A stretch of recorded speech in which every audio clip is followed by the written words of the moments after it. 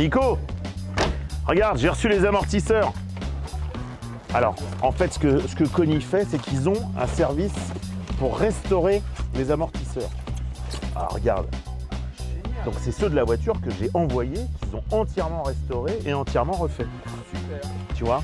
Donc, ça, pour les voitures anciennes, c'est génial. Et surtout pour cette voiture-là, ça va être super parce que du coup, ces amortisseurs-là, tu vois, Ouais, ils sont réglables. ils sont réglables.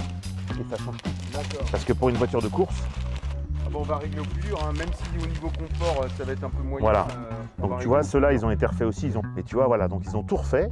Ils vident tout, ils refont tout. Ils refont euh, tout, tout, tout, tout l'intérieur en fait. Ouais, ils refont les joints, ils changent Voilà. euh, ils refont un truc neuf. quoi. Ils refont un truc neuf sur la base de l'ancien. Donc, donc ça, c'est ceux que je leur ai envoyés il y a quelques semaines, qui m'ont renvoyé, tu vois. Et donc voilà, refait à neuf. Et ça, ça c'est génial parce que étant réglable, vraiment, c'est canon. Voilà. Et en plus, le logo, euh, c'est quoi C'est le nouveau logo ou Non, ça c'est le logo euh, vintage. c'est le logo vintage?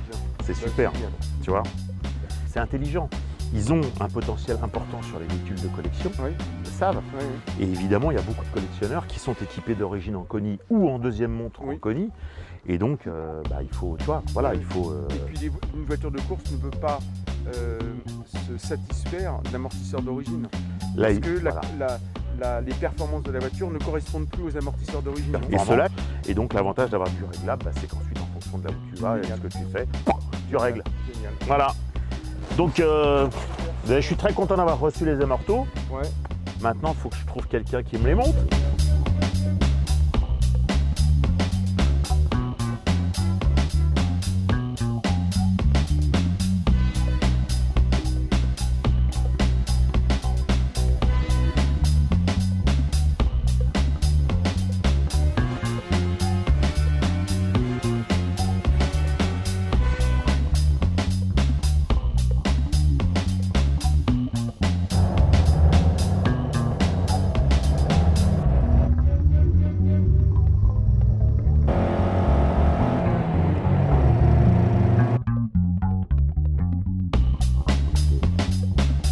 Très objectivement, moi je sens une vraie différence parce qu'avec les amortisseurs d'origine, la voiture a un petit peu tendance à flotter.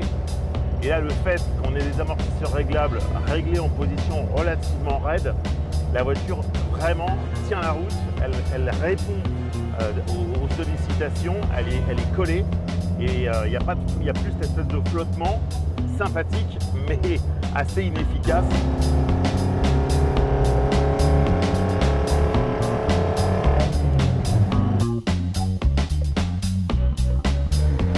La conso, bah forcément, c'est beaucoup.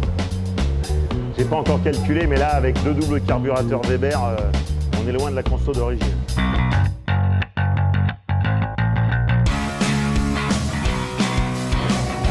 est beaucoup plus raide. Et tant mieux, parce que là, il faut.